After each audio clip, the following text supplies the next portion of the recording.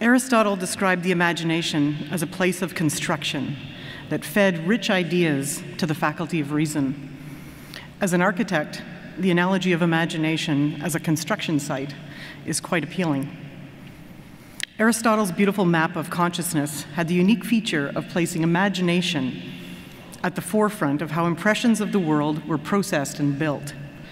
Unfortunately, today, an active imagination is often seen, seen as secondary to productive reason.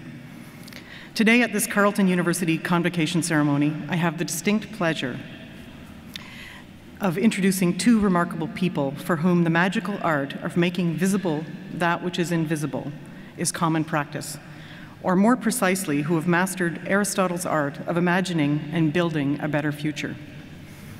Who can look at an empty field, envision a new city while protecting the natural environment, and then build multiple educational, community, and recreational facilities, multi generational housing, choices which allow people to remain in their communities, and diverse job opportunities where people can work near where they live, all within their own lifetime. Who can see the future needs of a community such as enhanced health facilities, educational environments, and arts programs, and then worked really hard to make them real?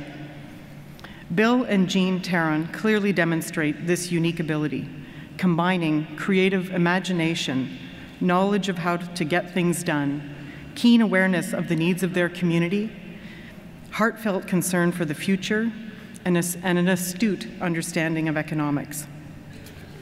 Upon graduating from Carleton in 1956 with her BA in psychology, Jean Teron has helped build many community programs through her work with the United Way, with the Carleton Alumni Association, the Trillium Foundation, Ashbury College, the Ottawa Hospital, the National Arts Centre, the Ottawa Chamber Music Society, and the Azrieli School of Architecture and Urbanism, as well as the School of Industrial Design, which uh, are all aimed at improving the world we live in. Jean served as a chair of the board here at Carleton University from 1983 to 1985, and also later was a chair of the board at Ashbury College. I would like to add that she was often the first female member of many of these organizations as well. Since the 1950s, Bill Teron has led many visionary projects through his work in public policy and, and at design at all scales.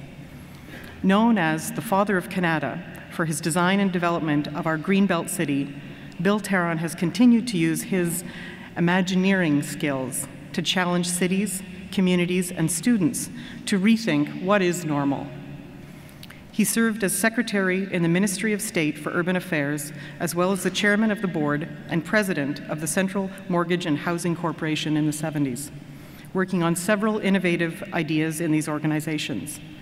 He was made Officer of the Order of Canada in 1983 for his outstanding work and has won several other national awards for community design and innovation.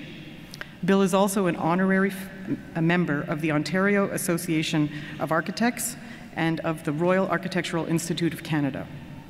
He has continued to build much of our urban environment in Ottawa through the Teron family design and development companies and is also an active member of several national arts and urban design organizations. Together, Bill and Jean have created wonderful scholarship programs for students in both the Azrieli School of Architecture and Urbanism and the School of Industrial Design here at Carleton.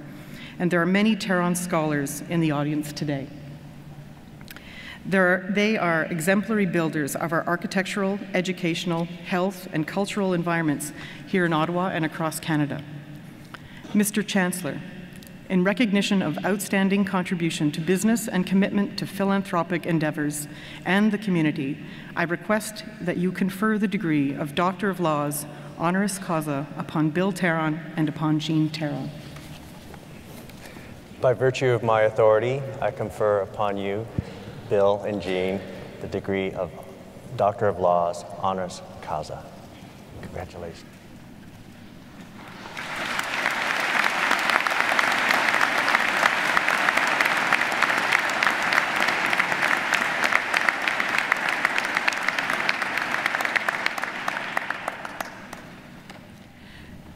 Chancellor Charles Chi, President Roseann Runte, members of the Senate, Board of Governors Chairman Ron Jackson, members of the board, distinguished faculty, honored graduates, ladies and gentlemen. Thank you, Professor Boyle. Bill and I are deeply touched by your kind words and generous welcome.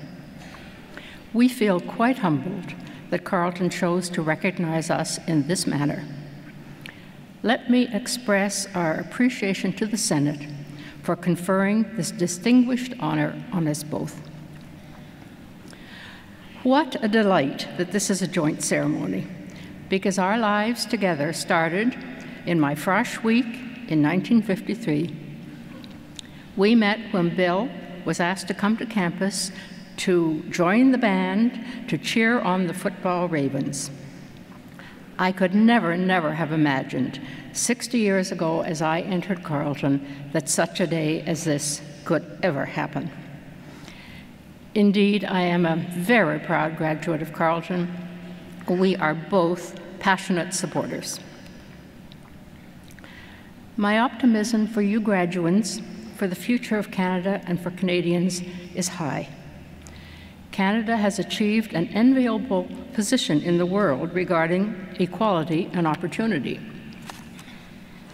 Today's gender and racial composition of you graduates, the composition of our provincial premiers, of our Supreme Court, our own exemplary Roseann Runte, with her enlightened leadership, and the ever increasing leadership in all aspects of local national, and global enterprise are examples of how we have embraced equality and equal rights in our country.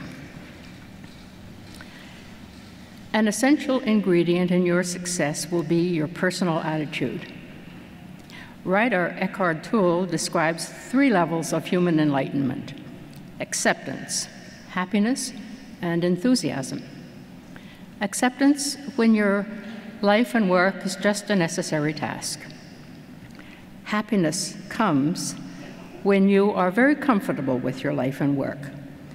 Then enthusiasm, when you have a mission and a goal, then the impossible becomes possible. Then achievement is without boundaries. Don't be afraid to dream, because without dreams or visions, life would be empty of accomplishments. Sharing your talents and skills with the community, local or worldwide, can provide some of the most meaningful experiences of your life. Your university has been exemplary in this. Carleton was founded in 1942 by volunteers, by community minded citizens who wanted to establish a place of higher learning for those whose careers were interrupted by war. Carleton's strategic plan emphasizes how Carleton was built in the community, by the community, and for the community. And this community is now engaged in solving real world problems. Time has taught me that whatever time and effort you put into any volunteer effort is more than rewarded with the knowledge that you have made a difference. It has been truly inspiring to observe how at Carleton very busy students have stretched themselves to organize both locally and internationally very successful campaigns or events such as the Relay of Life supporting cancer survivors. So often I reflect on Charles Darwin's over 200 year old quote, which I think is even more appropriate today. It is not the strongest of the series that survives, nor is it the most intelligent. It is the one most adaptable to change that survives.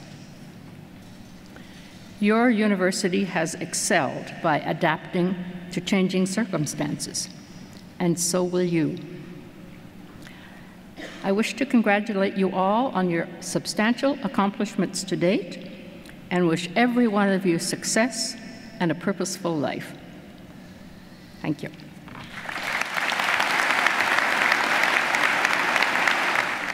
Good morning to everyone. I wish to reiterate Jean's comments of how overwhelmed and delighted we are to receive an honorary degree from our beloved Carleton University. With regards to today's convocation degrees, I wish to pay respect to the strong leadership at Carleton University provided by Chancellor Charles Chi, by President Roseann Runte, by the members of the Senate, the Board of Governors and its chair, Ron Jackson, and of course to Carleton's distinguished faculty. And I want to compliment them for giving high priority to creativity, entrepreneurship, and sustainability.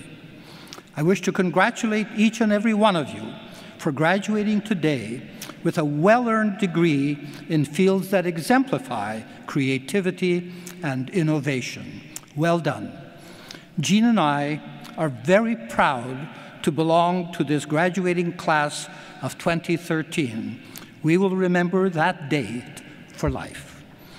My remarks today are directed at the future, your future, because today is your special day. Jean's remarks about my early musical life reminded me of the relationship between music and creativity. When people mention that they enjoy music, I think of the added joy of actually making music. In the same way that people admire creativity, I know that every graduate in this room is fortunate enough to be able to produce creativity, whether in architecture, industrial design, or in creative business planning. Creativity and innovation are essential to help expand efficiency and productivity, which has a direct bearing on the quality of life. Creativity is a joyful profession. Working in this field, I have found that every day was Sunday. At 80 years of age, in addition to a happy personal life, I have enjoyed 60 years of joyful design and entrepreneurial work. My only regret is that I have only 20 years left to go. Professor Boyle was correct in starting her remarks with a philosophical context. In my own case, it was the philosopher Bertrand Russell who made the remarks that the philosophy of life is a boring subject until you ask the question. But once you do, it becomes a burning desire to find the answers.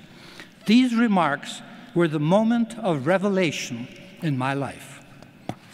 Human purpose, human potential, and human consequences should be the core of all human considerations. We live in a country and a world that is responsive to our ideals, to our ideas, and to our efforts. Success in our lives is as much about Canada as its opportunities as it is about ourselves.